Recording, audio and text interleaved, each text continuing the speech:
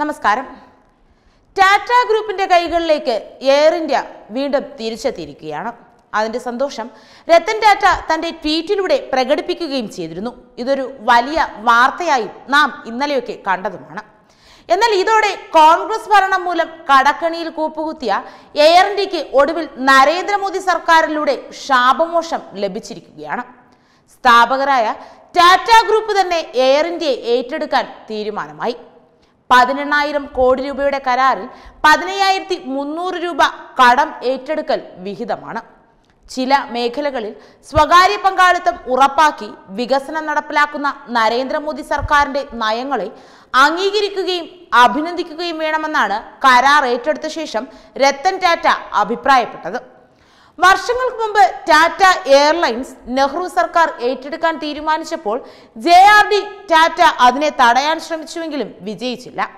വിമാന സർവീസ് രംഗത്ത് അനുവാദമില്ലാത്ത സർക്കാർ ഉദ്യോഗസ്ഥരുടെ കൈകളിൽ എയർലൈൻസ് ഏൽപ്പിക്കുന്നത് അപകടമാണെന്ന് അദ്ദേഹം അന്ന് വാദിച്ചു. പക്ഷേ ആ വാദങ്ങളൊന്നും കൂട്ടാക്കാതെ ആയിരത്തി തൊള്ളായിരത്തി അൻപത്തി മൂന്നിൽ ടാറ്റ എയർലൈനും മറ്റ് ഏഴ് എയർലൈനുകളും ദേശസാൽക്കരിച്ചു. എയർ ഇന്ത്യ ഇന്ന് കാണുന്ന ഭീമമായ നഷ്ടത്തിലെത്താൻ കാരണം കോൺഗ്രസ് കേന്ദ്ര സർക്കാരുകളുടെ നയങ്ങളാണ്. തൊണ്ണൂറുകളിൽ എയർ ഇന്ത്യ വലിയ നഷ്ടങ്ങൾ നേരിട്ടു. ആയിരത്തി തൊള്ളായിരത്തി തൊണ്ണൂറ്റി അഞ്ച് മുതൽ ആയിരത്തി തൊള്ളായിരത്തി തൊണ്ണൂറ്റി ഏഴ് വരെ അറുന്നൂറ്റി എഴുപത്തി ഒന്ന് കോടി രൂപയുടെ നഷ്ടമാണ് രേഖപ്പെടുത്തിയത്. അടൽ ബിഹാരി വാജ്പേയി സർക്കാർ രണ്ടായിരത്തി ഒന്നിൽ എയർ ഇന്ത്യയുടെ നാൽപ്പത് ശതമാനം ഓഹരികൾ വിറ്റഴിച്ച് നഷ്ടങ്ങളിൽ നിന്ന് കരകയറാനുള്ള ശ്രമങ്ങളും തുടങ്ങി.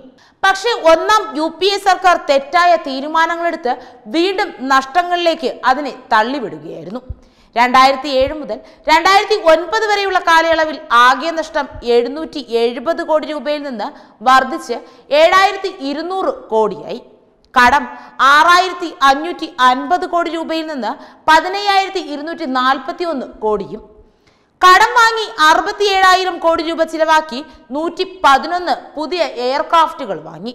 ഇതും മറ്റെല്ലാ തീരുമാനങ്ങളും ചേർന്ന് ഒരു മാസം നാനൂറ് കോടി രൂപ എന്ന കണക്കിലായി എയർ ഇന്ത്യയുടെ നഷ്ടം. എ കെ ആന്റണിയുടെ ഭാര്യ വരച്ച ചിത്രം സർക്കാർ ലക്ഷങ്ങൾ വില കൊടുത്ത് വാങ്ങിയ ആ കാലത്ത് കോൺഗ്രസ് രാഷ്ട്രീയ നേതാക്കളുടെ താല്പര്യങ്ങൾക്കനുസരിച്ച് എയർ ഇന്ത്യയിൽ ദൂർത്തും ദുരുപയോഗവും നടന്നു. അൻപത്തി എണ്ണായിരം കോടി രൂപയാണ് എയർ ഇന്ത്യയുടെ സഞ്ചിത നഷ്ടം. ഇത് മുന്നിൽ കണ്ടുകൊണ്ടാണ് അറുപത്തിയെട്ട് വർഷം മുമ്പ് J R D Tata airline ദേശസാൽക്കരിക്കരുതെന്ന് കേൺ അപേക്ഷിച്ചത് രണ്ടായിരത്തി ഒൻപതിന് ശേഷം ഒരു ലക്ഷത്തി പതിനായിരത്തി ഇരുന്നൂറ്റി എഴുപത്തി ആറ് കോടി രൂപയാണ് ഖജനാവിൽ നിന്ന് സർക്കാർ എയർ ഇന്ത്യയ്ക്ക് നൽകിയത്. ഈ കണക്കുകൾ മാത്രം നോക്കിയാൽ മതി എത്ര വലിയ ഊരാക്കുടുക്കിൽ നിന്നാണ് നരേന്ദ്രമോദി രാജ്യത്തെ മോചിപ്പിച്ചതെന്ന് മനസ്സിലാക്കാൻ. ഇത്രയും വർഷം സാധാരണക്കാരുടെ നികുതി പണം എയർ ഇന്ത്യ പോലുള്ള വെള്ളാനകളുടെ നടത്തിപ്പിനായി നശിപ്പിച്ച കോൺഗ്രസിന് ഇപ്പോൾ മിണ്ടാട്ടമില്ല. കാരണം എയർ ഇന്ത്യയുടെ ഈ അവസ്ഥ തങ്ങൾ വരുത്തിവെച്ചതാണെന്നും നരേന്ദ്രമോദി എന്ന നേതാവില്ലായിരുന്നുവെങ്കിൽ ഈ ശാപമോക്ഷം ലഭിക്കില്ലായിരുന്നുവെന്നും കോൺഗ്രസിന് നന്നായിട്ടറിയാം. പിന്നെ സ്വകാര്യവൽക്കരണത്തിനെതിരെ അമർഷം കൊള്ളുന്ന ഇടതുപക്ഷത്തിന്റെ കാര്യം. ഇവരുടെ വാക്ക് കേട്ടായിരുന്നു കോൺഗ്രസ് സർക്കാർ എയർ ഇന്ത്യയുടെ പല തീരുമാനങ്ങളും എടുത്തത്.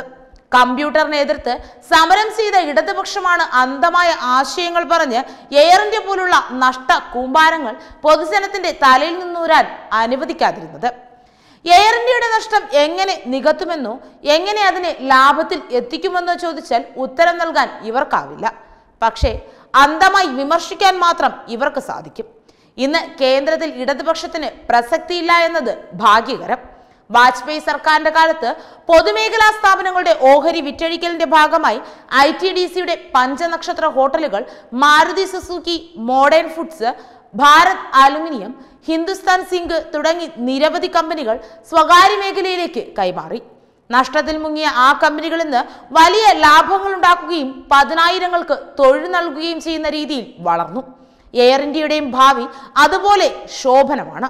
ഈ ഐതിഹാസിക തീരുമാനം നടപ്പിലാക്കിയ നരേന്ദ്രമോദി സർക്കാരിന് അഭിനന്ദനങ്ങൾ നേരുകയാണ് രാജ്യത്തെ ജനങ്ങളും. വെബ് ഡെസ്ക് തത്തുമീ ന്യൂസ്.